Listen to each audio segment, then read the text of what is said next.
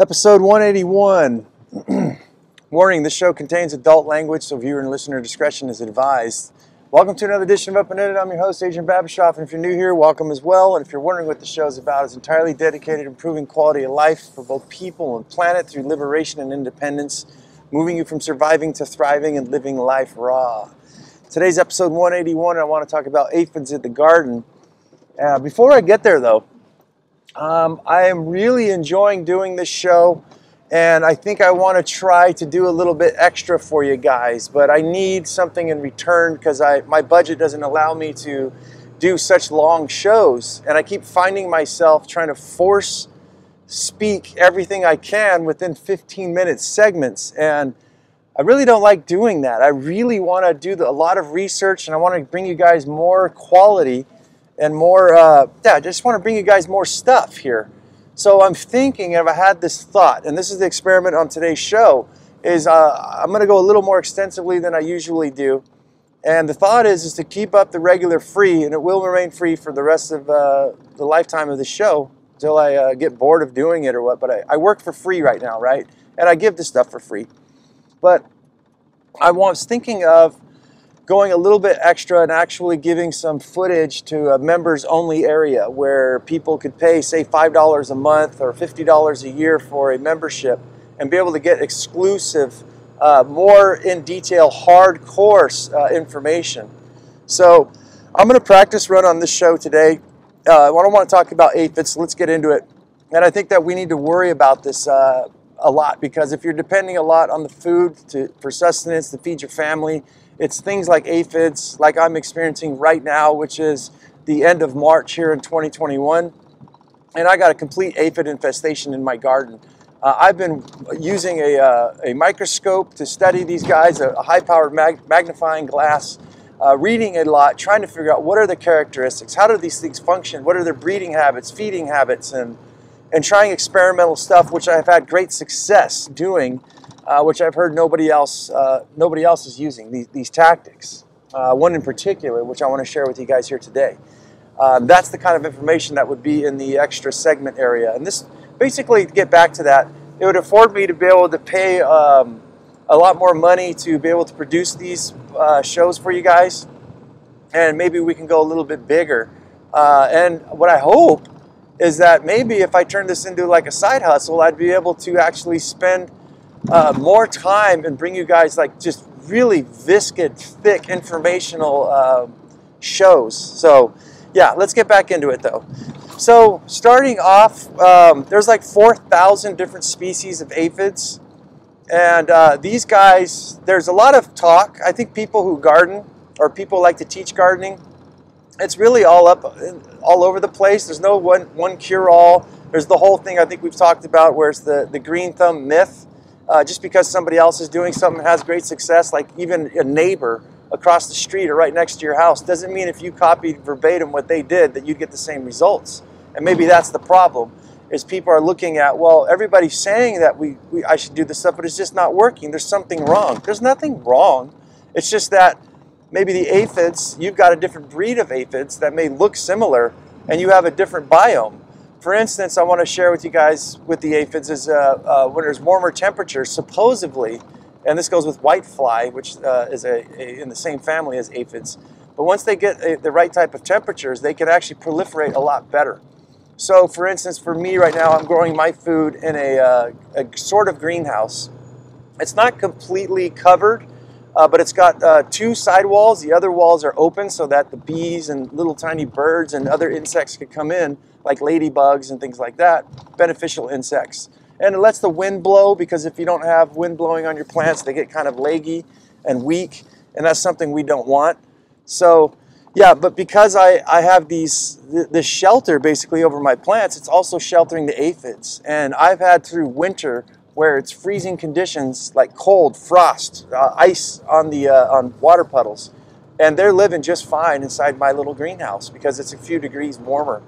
So your your home could be a little bit warmer if you had to say a brick wall or something where the sun was shining and that's where your vegetable patch was, you know, especially those living in the in the compact city, you know, dense city style. Um, that brick wall is radiating heat and keeping that area warm at nighttime using thermal uh, uh, inertia, you know, therm thermal uh, mass. It's, it's, it's holding onto it. If you uh, guys ever experienced this, go down, you know, at the end of the night, uh, go down to the north side of your, your, your house where this, or wherever you're at in the world where the sun doesn't shine. Feel this stucco on your wall or the rocks around you. They're going to be cold. The ones that were sitting in the sunlight will actually will be warm. There'll be a huge difference. You don't need any special devices to measure it. You can just do it with your hands by feel. So yeah, a lot of things could be are, are, are things to take in consideration.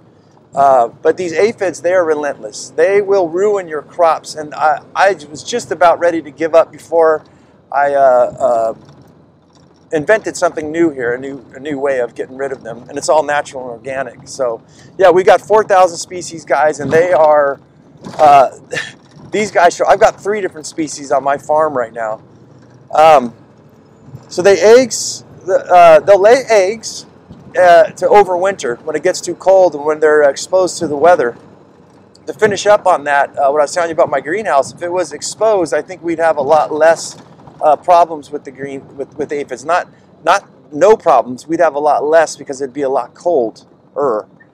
Uh, so yeah, they'll they'll um, lay eggs to overwinter to, for their species to, to survive. And uh, these little rascals, they uh, they give live birth to nymphs and they don't need and what's crazy is that these aphids they're all females right so they basically clone themselves and i mean these guys start breeding very very quick and so while they're feeding uh, they don't need males to mate. They will actually start uh, uh, giving birth to live nymphs live babies and, and lots of them. And uh, they're all females. And once they once they go and they they actually infest a plant and the, they, they create their colonies and they start to uh, uh, bleed out and eat everything they can, and, the, and they, they know that the plant's going to die, they will actually go and mate with, they'll actually give birth to themselves. This is amazing. So these are like really screwed up insects and like really mess with our, our systems and everything, but they're very fascinating at the same time. They'll actually switch gears and stop producing females and start producing males so that they can mate with them. That way, they can uh, uh, produce winged uh, uh, species of their own. They'll change their form. Isn't that amazing? as much as I hate them, I'm amazed. So they'll actually change their form so that they can fly and uh, go colonize other plants. Now their flying patterns aren't very good. They have a, a very lacy, light, lightweight wings. Uh, they don't really fly too far. They have to depend more on the wind and kind of for directions. But these guys are smart. They know where to land and uh, you know they basically float around in the wind if there's high winds and that's how they can uh, travel a lot further distance but if they didn't have the wind they can't really fly that far but in your garden what they'll do is they'll go and they'll fly around and they'll actually taste test your plants and they'll find one that's suitable and then they'll go and these are winged females by the way they just mate with the males and then they're done with them right the males die off and then they don't breed anymore so make sure uh, my friends and family out there my, my brotherhood of, uh, of males make sure that uh, human females don't get this, uh, uh, you know, this the gist of this because we might be out of here. You know, maybe they'll stop breeding us. Uh, they got a different memo in the gene pool.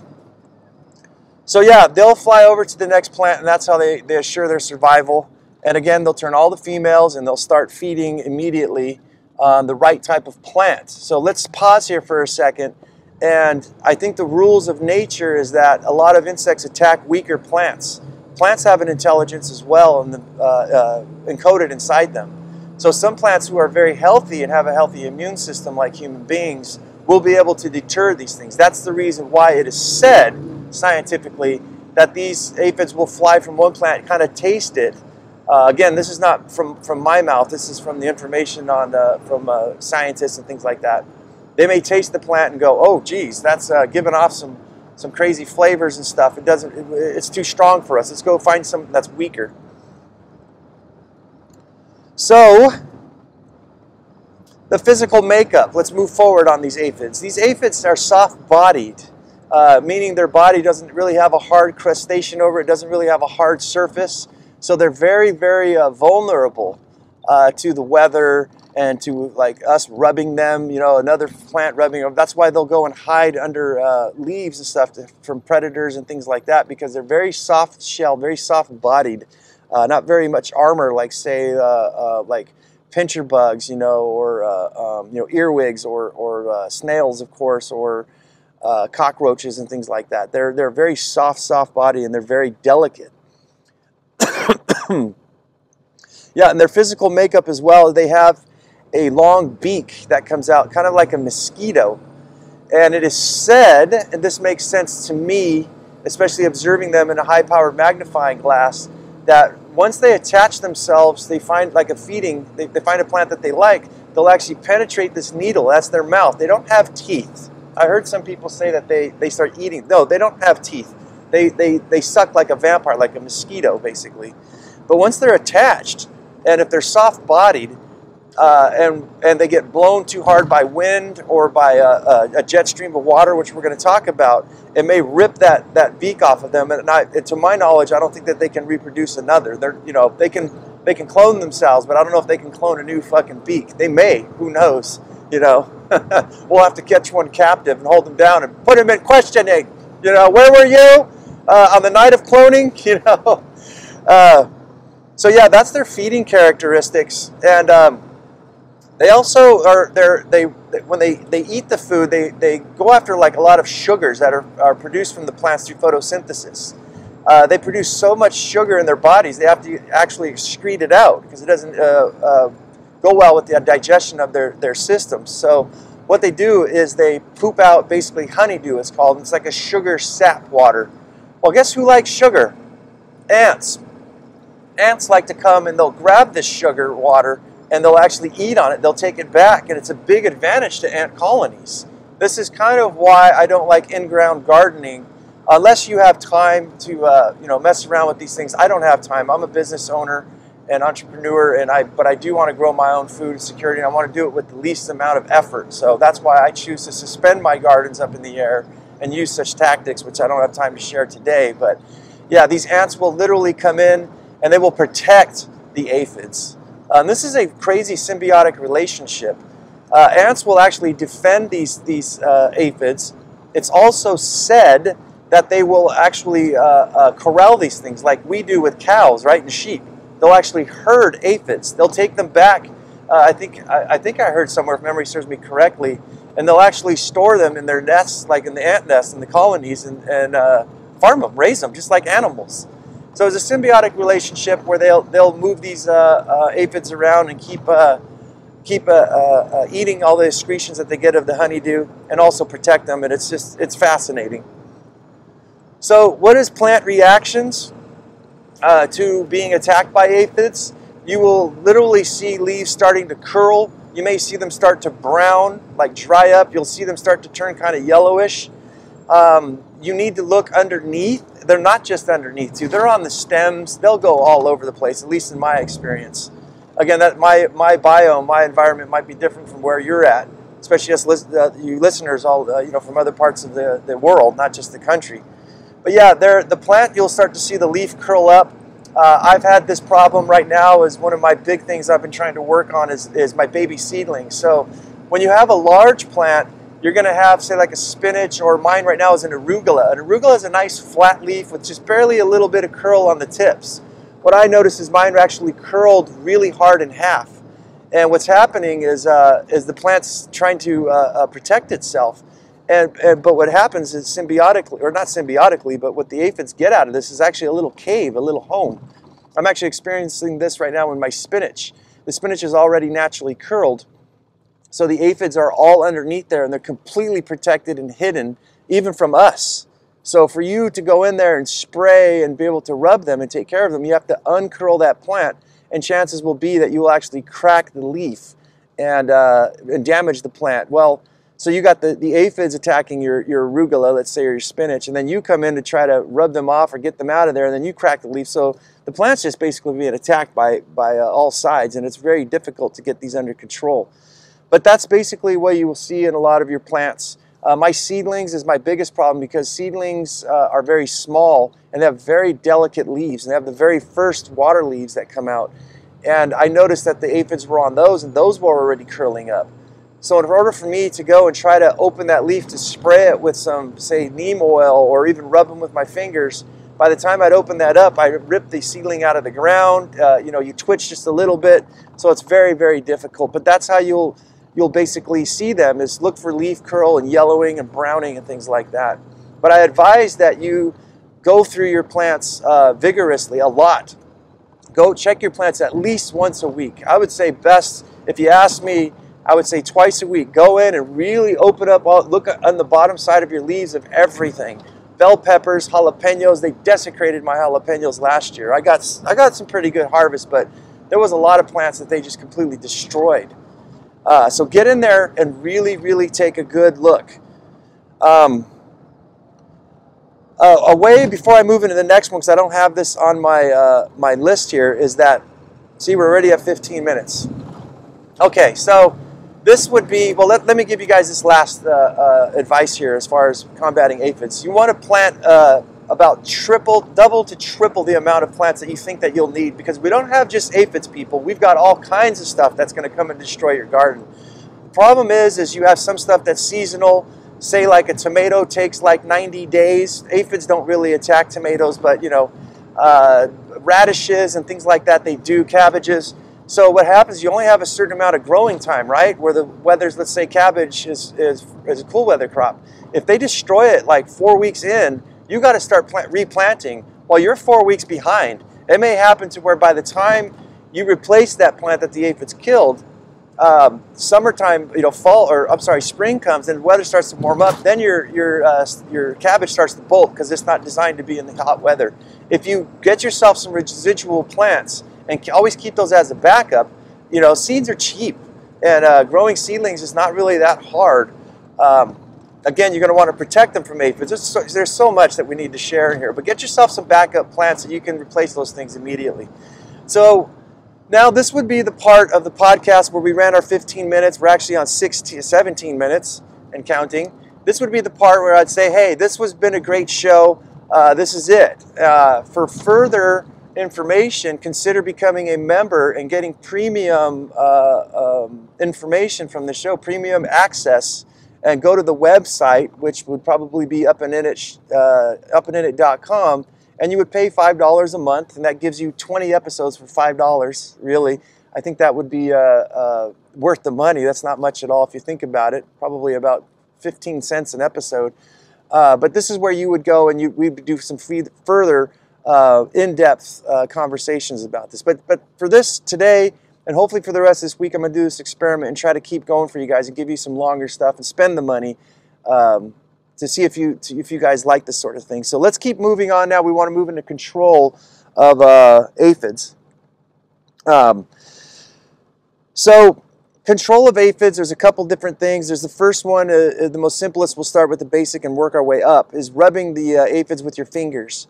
So as I said with the leaves, you want to pick up your, the leaves of your plants and where you see uh, even one or two, just give them a slight light rub with your thumb or your index finger. Now it's very gooey and yucky stuff, but to me, I mean, hey, that's nature.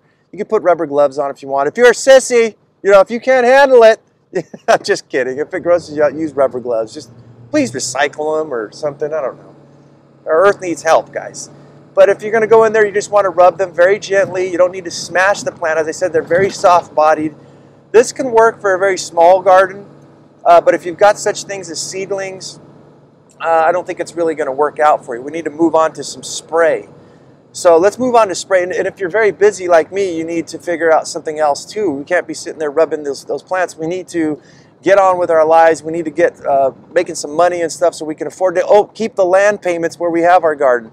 So the next one's going to be water blasting. And lot, all these I'm going to give you is non-chemical. I do not use chemicals, so don't expect to ever get anything like that from me uh, on this show. We do not endorse chemicals at all. Everything's natural or we don't do it at all. So water blasting, uh, these guys, as I said, have their beak stuck inside the uh, plant. So they're kind of anchored. So that's kind of what you want to uh, uh, uh, do is get a either in a water bottle and get it to like a, a fine mist because you don't want to blast, especially seedlings. Their, their leaves are very delicate as well. You'll notice that they'll turn dark green like a bruise. So if you're spraying your plants too hard, uh, you'll actually see like, like little dots and streaks like a, a, basically a bruise on the leaf. So you want to get like a very fine mist, but you want to get it to where it's got some high pressure on it. So you're going to lift up your leaves and you're going to get maybe your squeezy water bottle and you're going to like point blank these guys. You know what I mean? Right, like gat to the head. You're going down, motherfucker. You know, gangster style. You know, taking not even taking names. You know, taking names later. But you get in there and, and uh, blast these guys really close, and you'll rip off their beaks. Uh, you may even, as the plants, as I said, where it bruises them. I think that you'll bruise their body. It's my uh, philosophy on it, my my uh, hypothesis that you'll actually cause damage to their body. So when you spray them, you're going to knock them off. It's going to rip out their beak. If they're winged one, it's going to damage their wings so they can't fly over to another plant. It's going to bruise their body. They're going to fall down on the ground and they move very slowly, it is said. I've noticed some, they don't move that slow. They can actually crawl. It reminds me of like the speed of like a turtle, uh, but they can, they can move. But they'll, you're going to knock them to the ground, and uh, it is said that they don't have the energy to climb back up and get onto the plant and reestablish themselves. So you're just knocking them off the plant. Uh, you can do this with a uh, air with a, uh, a, water hose as well. That's what I use. I put it on like a uh, a uh, mister uh, or a, a, fan, and you can kind of keep a distance away from like grown plants is like spinach and stuff who's got established arugula beets. They got the tough skin. You don't have to really get point blank. You can just keep rinsing them to finish with the rinsing too is make sure that you're watching everything, man. You want to really get in there, and I mean these guys are in the in the crotches, like the uh, the elbows of the plants where the crooks happen. So get in there really soak these guys down, really jet stream everything. Because the more you get out, the better. Because you leave just one, they're going to start proliferating. They're going to start laying their nymphs again, right? So that's why this method is is good to kind of keep them under control. But I don't believe that you're going to get all of them. Okay, moving forward. Um, water blast. The next one is soapy spray, right? And I want you guys to, uh, you might need to write all this stuff down. Maybe need to listen to the show again if you're really concerned about aphids. But you want to get one tablespoon of water per quart. Uh, well, I'm sorry, one, table, one tablespoon of soap per quart of water. Now, this is going to be on you guys to go and use like uh, Dawn dish detergent stuff that you know chemical uh, soaps. I don't really know how your plants are going to react with that. Um, let's kind of talk about that for a second. Your plants actually breathe. Trees, all anything with leaves, actually that's their lungs, right? They, they convert carbon dioxide to oxygen, but they have like lungs, these little holes underneath, and that's where they actually suck in nutrients and actually suck in the carbon uh, carbon uh, uh, dioxide. Um, and, and that there's a lot going on there. So when you're spraying it with anything, these plants are literally ingesting some of it. So that's why we want to use something like maybe a Dr. Bronner's soap. I use a baby uh, uh, hemp soap. Uh, and there's no animal testing on Dr. Bronner's supposedly. So it's a very gentle and very environmentally friendly, biodegradable soap. So I would recommend that you guys use something like that. But it's, uh, and I, I don't think I've, I've done I've used this stuff, so I have experience, and it doesn't really harm the plants. But basically, what this does is this is going to go onto the aphids, and it's actually going to dehydrate their skin, right? Uh, and it's going to it, it'll kill them. Uh, I had to do a certain amount of uh, experimentation where I believe I doubled it. I did two tablespoons of Dr. Bronner soap to one quart of water uh, to make this simple for you guys too, it'd be four tablespoons you want to start out with per gallon if you're going to mix it in big batches.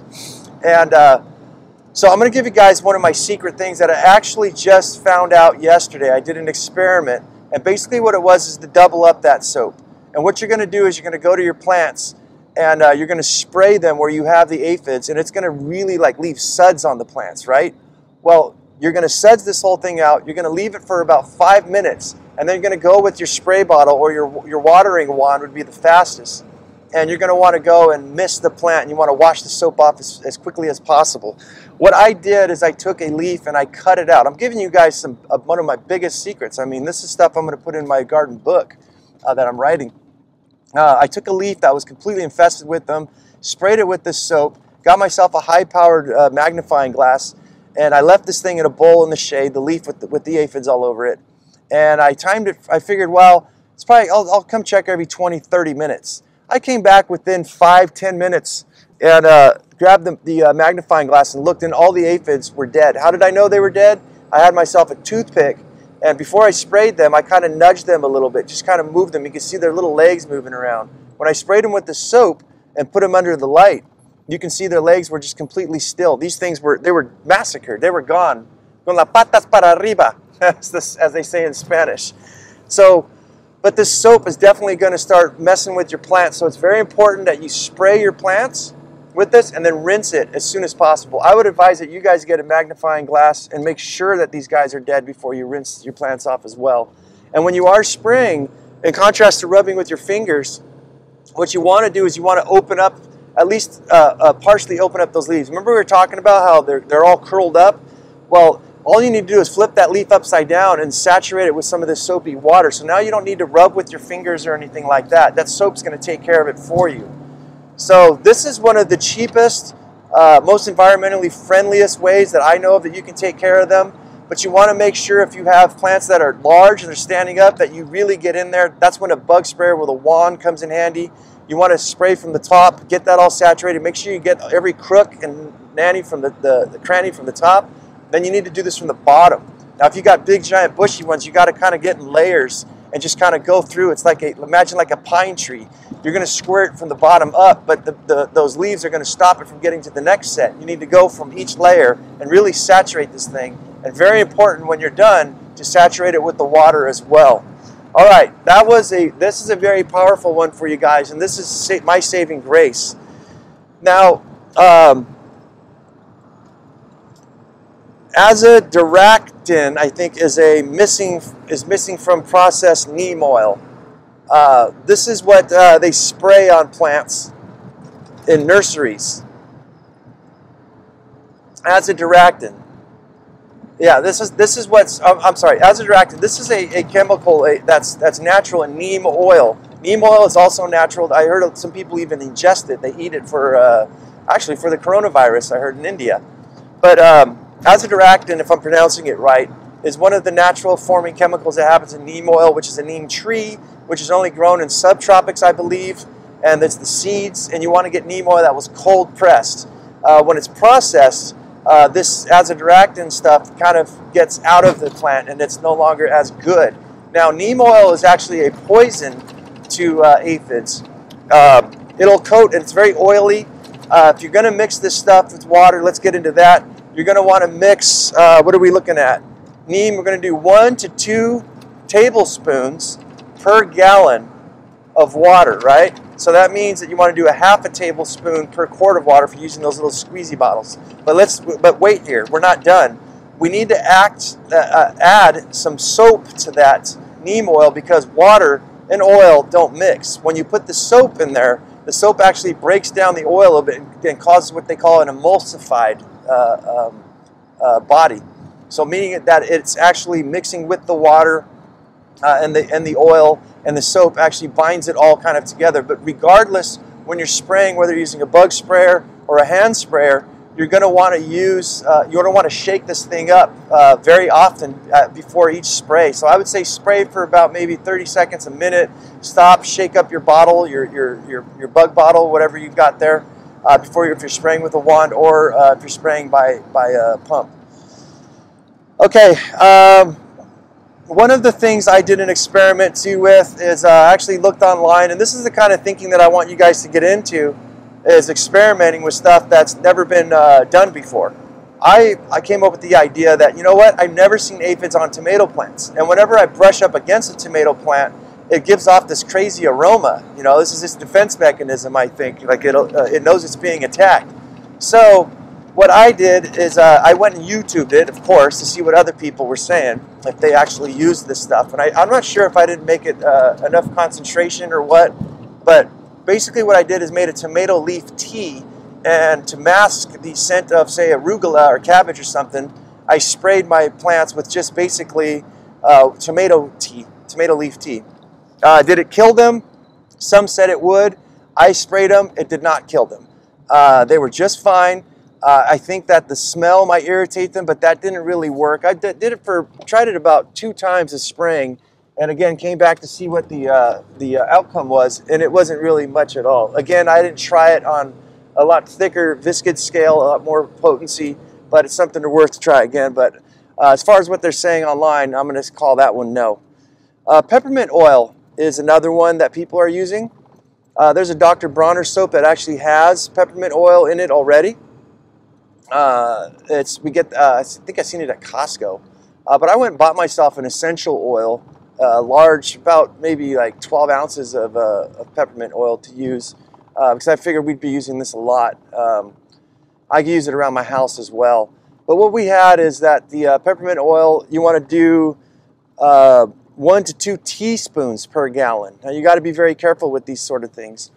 The uh, gist of this is that people are hoping that the, the aroma of the peppermint is going to agitate. They don't claim that it's going to kill, although some said it would kill. It does not kill uh, uh, aphids. I'm here to tell you that right now. Uh, I, I mixed it up, and it actually, when I was spraying it in my garden, my I could feel my eyes getting a little steamy, you know, from the the uh, the menthol, the, the peppermint oil stuff, and uh, yeah, it definitely got me. But now, pep, it doesn't really work as well as what people say. I'm going to continue to experiment with it, but I'll, I'll keep you guys posted. Now, let's get into predators. Uh, there's a lot of predators out there. Uh, you can Google, we don't have time to go into every single one of them, but let's go into one uh, which is called the green lace, uh, lacewing. Uh, this one looks like it's like a torpedo kind of shape. Uh, it's got some long, it looks like a triangle, kind of like a jet. It's got long, clear leaves, uh, leaves, long, clear wings, uh, and they're like green, light lime green in color. And these guys will come in, and I think it's very important for you guys to identify these type of insects so that you don't spray them and kill them. So let's let's just pause right now before we get on to the predators. When you start spraying your plants with soap, uh, anything other than water, let's just let's just cut it short you know, neem oil, soaps, and all that, you're going to harm the beneficial uh, insects as well. You're with like neem oil. Yes, it's natural, and a lot of people don't say this, but you're actually killing everything. It's like when you take atom, uh, I call them atom bomb biotics, uh, antibiotics. You know, it goes in and kills all the good bacteria and the bad bacteria and everything in your body. It just takes you down to square zero. You know, like dropping an atom bomb on a land. It just annihilates everything. So that's not something I think that you'd want to do. Um, Okay, let's get here. Uh, actually, I'm at my job and we can shut this motor off and get you guys some better sound quality. Sorry about that too. That's the background noise from me and my uh, work commute. Uh, but let's get on it here. So lace wings, yes, they will come in and they will start massacring these, these aphids. Uh, soft body skin, they'll, they'll even start eating the nymphs and the eggs, I believe, and everything. Uh, you get ladybugs that will come in. These will also, if you guys aren't familiar, it's the little red, black and uh, black uh, head, a red uh, wings, like a red bulbous uh, uh, body with black dots on it. Some of them are yellow, uh, and there's all there's different variations, but these ladybugs will definitely feast on them. And here's a note that I want to tell you guys: is when you are gardening, like for instance, for me right now, uh, we're moving into spring. I think it's, I'm not sure. I don't know why I never I don't follow these things, but I think we're in spring right now, the very beginnings. but everything's starting to blossom, right? And this means uh, not just your, your, your garden, but every the weeds and stuff around you. Now, if you go in tall grasses, and right about this time of year, the beginning of spring, you're going to start seeing these ladybugs. Uh, they're the most easiest to identify and find because they have the bright red. And just gently with your hands start opening up the thickets of, of grasses and weeds and stuff. And you're going to start to notice that uh, when they appear. Uh, lace wings, I think, and all of them, all these predators are going to start to appear during the, the springtime when the when the weather, when the when the heat comes and it's just the right temperature. So, as we say in permaculture and natural farming and everything, is we want to utilize these guys. Why would we want to kill them? And what we also want to consider is building habitat for them. Uh, habitat for um, ladybugs is pollen uh, and also places where there's aphids, right? Uh, nature balances itself out whenever there's a problem, the solution will present itself. There's a, it's a big circle, you know, it's a dog eat dog world. So when the aphids become into abundance, uh, all these insects will show up and they'll start eating it, but they also need a place to actually be. So here's a problem, you know, to, to survive for them, themselves as well. You know, you build your wonderful garden and you mow all the weeds and everything around you, uh, they probably will show up. And here's the problem here's where people go and buy like a bottle of, of aphids, right, or lace wings and, you know, things like that. Uh, uh, another one is, uh, which I don't have in my notes here, is the uh, um, praying mantis, right? You get them and you release them, and they some of them will just fly away, right? Uh, but some of them will look and they'll go, oh, there's aphids. I'm gonna, you know, mom, mom, mom. Uh, you know, it's like a smorgasbord for them. Well, what happens when they eat all the aphids? well, then they move on to find other aphids, right? Or pollen. So, and they need a place to hide from predators that want to eat them, such as other birds and things like that. So, you want to consider leaving a portion natural of your yard of a bunch of weeds. If you don't like weeds, plant like a bunch of perennial, which means things that just keep constantly going. They don't just grow once and then die and you have to replant them. Get something with thick bush in it, it's places where these animals could hide, and also consider growing stuff in your garden also not just don't just grow food for you grow food for them as well certain things like uh, that, that serve a purpose, like marigolds. Uh, the regular old common marigold will attract bees, and I believe uh, these ladybugs and, and uh, you know other bumblebees and things like that, and wasps. Uh, but uh, they don't really serve a purpose for you, and we like to stack functions on the show, right? So what's your what I'd like for you guys to consider to do is grow edible marigolds, such as lemon gem or tangerine gem. And what these things are going to do is they're going to attract those bees and ladybugs and give them food to eat um, and also attract the bees so the bees will pollinate your, your garden for you. You see how this all works together. But now you're able to take these flowers and pick them yourself too and put them in salads or spring rolls and things like that. So I prefer like nasturtiums, uh, edible, wild, edible flowers and things like that to disperse within your garden. Uh, forgot to say as well, as it is said that marigolds will actually give off a scent both in the air for aphids uh, and and and uh, uh, I believe whitefly, but but for predatory insects that come to eat your garden, it actually releases a smell that they don't like. So it actually protects it and makes it look beautiful. But I hear marigolds will also do this in the ground for like gophers and things like that. So there's a lot of components to it. I think that we should be concerned about feeding ourselves uh, and and that's not necessarily just ourselves, but also give some back to nature so that nature can help us out as well. Because we want we want part of the symbiotic relationship, right? Um, so before I move forward too, uh, we have to wait for the ladybugs to show up. And this is why it's very important. I mean, they will they'll pick the bones clean on your your these these aphids of your plants, right? From, from eating your plants. Uh, but you want to, you're going to want to use water blasting. You may want to use soap and neem oil and everything during the winter if you experience uh, this sort of problem like I have. But you want to also keep a close eye out on the fields and watch for those ladybugs. And once you see those ladybugs coming, cease to use your neem oil, your soap, even water blasting and things like that. Just stop using it altogether well, wait till there's abundance of these, these insects there and let them start to figure out where these aphids are on your garden because guess what? The aphids are not necessarily in those weeds. They're all over there on your, your garden. And these, the, the, the predatory uh, insects that like to eat these guys, they can sniff them out, right? They're like wolves. So if you leave it alone, they will show up uh, and they will start to eat everything. But in the meantime, when they're not around to do that work for you, go ahead and feel free to use the sprays. So Hoverflies is another one, and this is kind of off the top. I guess these guys uh, like eating aphids too, uh, but they they're those little flies that fly like like like they just kind of float in one area. It seems like, right?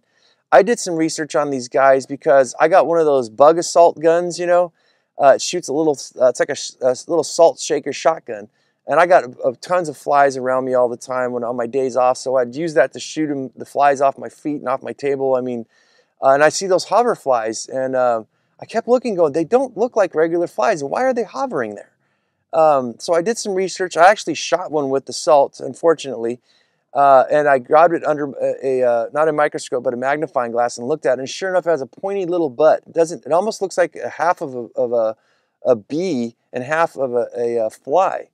So one thing I found out about these hover flies is that they actually don't bother human beings and they actually don't eat garbage. They actually eat uh, insects and they actually eat pollen. So they actually are pollinators. So when you see those flies, those irritating ones kind of hovering around, just walk through them. They're not going to land on your food or go in your drink or anything. They're actually beneficial insects from the extent of my knowledge so far.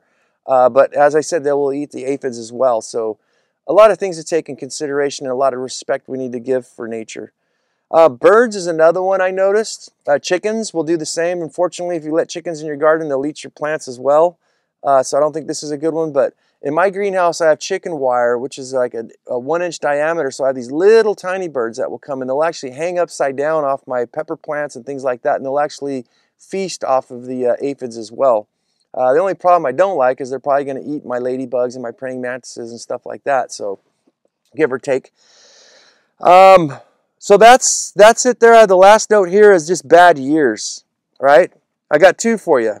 Uh, there's just certain years I've never seen a year like this where we had these guys, these these aphids come in. Like I says, I've got black aphids. Uh, I don't know the species. I do one I think is a peach aphid. It's the light green ones, and I have some that are like kind of a whitish color. So I got three of them showing up, and I also have whitefly coming to the party.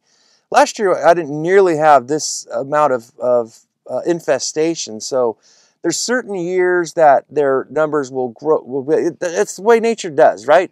Give you guys an example, like uh, oak trees will actually, uh, you know, they drop their acorns, and you'll be walking at the park or in the forest, and you'll notice like there's some acorns laying around.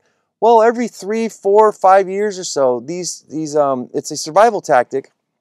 These uh, um, oak trees have a sense. They know that this is going to be abundance of rain. So what do they do?